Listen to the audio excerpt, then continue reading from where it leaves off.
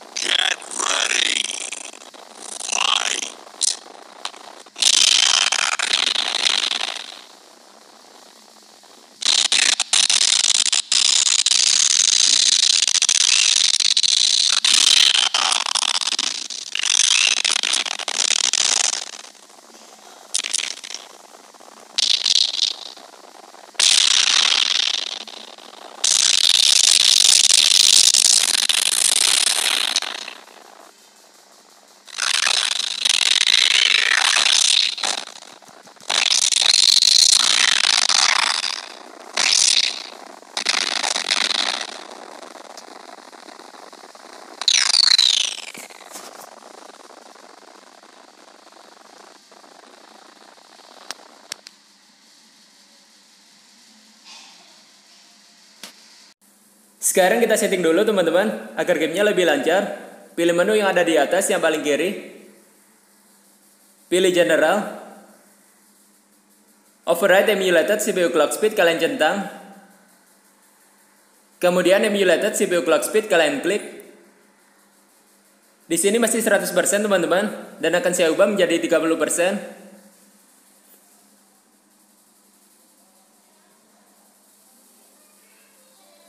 Kalian bisa mengubahnya sendiri sampai gamenya bisa lancar, tapi saya sarankan kalian mengubahnya antara 55% ke bawah. Kemudian pilih OK. Audio stretching kalian centang. Sekarang kita kembali. Kemudian pilih menu di sebelahnya. Aspek rasio. Pilih yang paling bawah. Enhancements kalian klik Internal resolution.